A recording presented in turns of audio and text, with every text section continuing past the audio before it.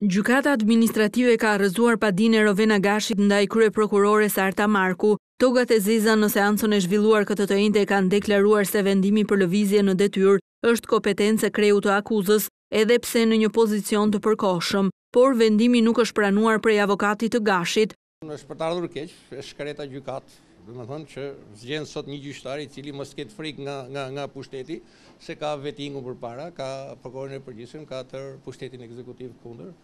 dhe mjerë ata qytetarë në punësa, apo kush ka halë që duhet vinë këtë gjykatë, sepse pasaj që nënë pushteti ekzekutiv, dhe po që se nuk preken interesat e pushtetit, nuk ka pranimi pa dje, nuk ka dretat e njëriut. Rëvena Gashi është shkarkuar në fund të djetorit nga posti i drejtoreshës të mardhënjeve me jash duke kaluar si prokurore e thjesht Me njëherë pas kësaj ajo ka dekleruar se vendimi ka qënë politikë,